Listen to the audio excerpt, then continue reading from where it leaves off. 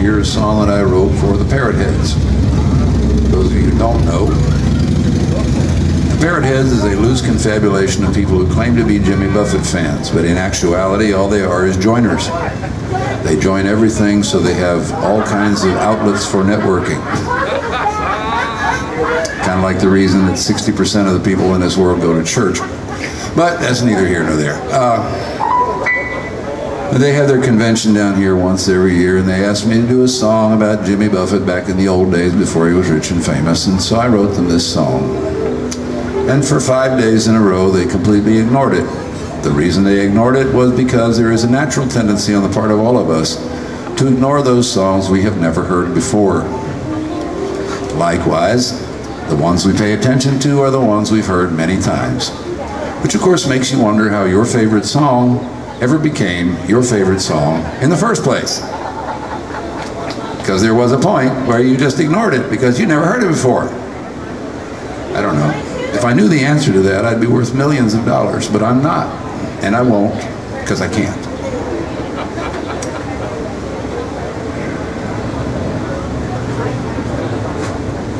So this song is about Jimmy Buffett back in the old days, and the second part of the song is about being ignored by large groups of people. Yeah, just like that. It's called Just Another Song. Let's do this in E this time.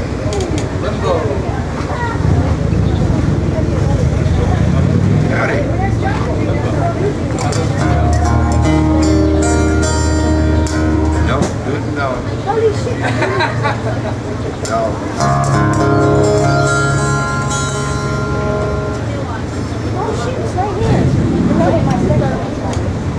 Look at me, I'm giving your food away. Does anybody else remember back when he used to late for a live minute down because this ain't here? my section. Oh. Working late at night in these sleazy dives for dollar tips did and just get a beer. haircut. Look at you. know. Uh, some of y'all might just recall back when he used to have all his hair. He was years away from fortune and waiting on you. fame, but he you were here, but didn't even when I got seem to care. I text my wife, Stupid followed me for about five seconds. They'd say, who's that fool up there on the stage with that beat up old guitar? Is this just another Bob Dylan clone, or does he think that he's a star? And why is he wasting all our time playing these songs we ain't never heard?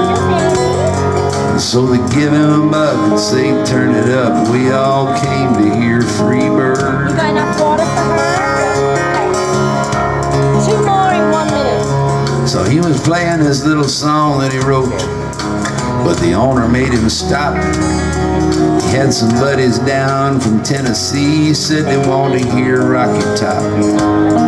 So he tried to play a little love song, but he never even got the chance. Cause the frat boys down from UGA wanted to see the drunk girl dance. And every song was something new written. But you never know if it's worth a shit unless somebody listens. Yeah, but most folks think just background noise and best to be ignored. Cause they've never seen him in the magazines, they never heard his name before.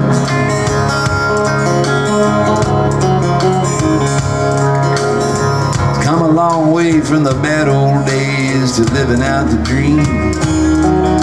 He's out on the road playing songs that he wrote, and everybody knows his name. Not long ago, he was the one man show down at the Anchor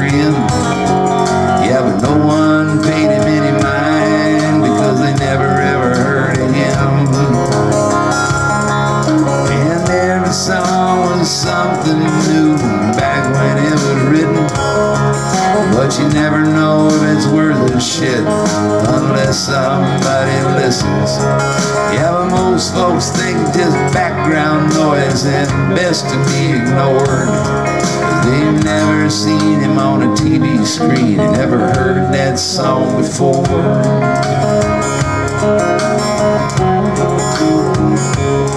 Now if a tree falls out in the forest, no one hears it fall. Some folks say that tree never made any falling sound at all. And if no one really listened back when your favorite song was new, do you think that song would have ever meant so much to me and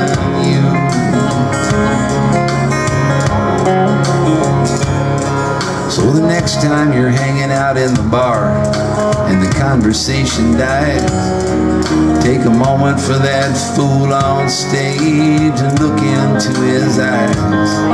But somewhere down inside of him, he's got a tune that's pretty strong. It might stir your soul or make you whole if you just listen to the song. Yeah, but every song was something new back when it was written. It's worth a shit unless somebody listens. Most folks think this background noise at best to be ignored. Cause they've never seen him in the magazines and never heard his name before. And they've never seen him on a TV screen and never heard.